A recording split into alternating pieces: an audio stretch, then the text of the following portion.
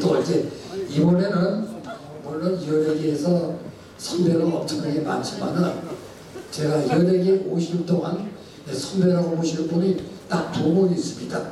한 분은 이제 조금 있으면 나오시고 한 분은 돌아가신 코미디언 서영준 씨가 제가 우상입니다. 제가 서영준 씨 바람에 이 쇼를 또 제가 하게 됐고 제 우상입니다. 이번에 모시는 분은 에, 이 가요가의 반세기 주인공이고 현재 남이주 주거사업회 회장님으로 계신 우리 여인동정의 주인공 신혜성 선배님을 이 자리까지 모시겠다.